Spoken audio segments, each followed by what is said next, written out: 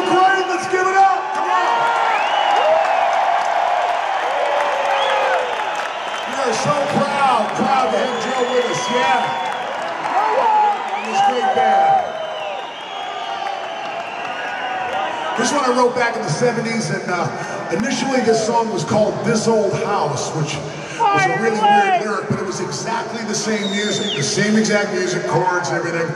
And then I got some inspiration and I changed the title, thank God. Here we go.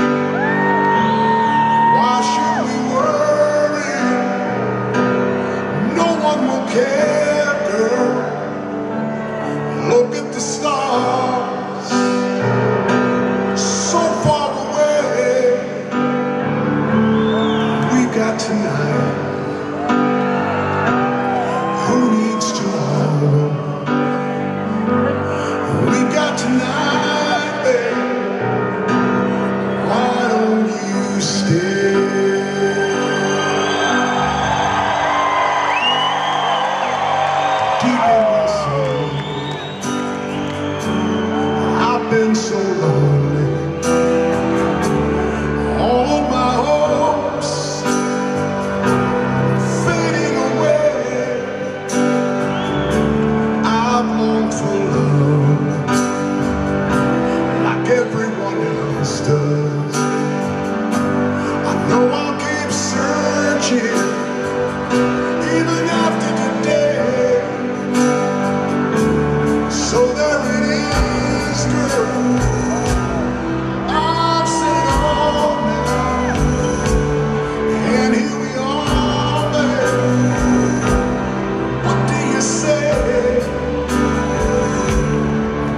tonight. Who needs tomorrow?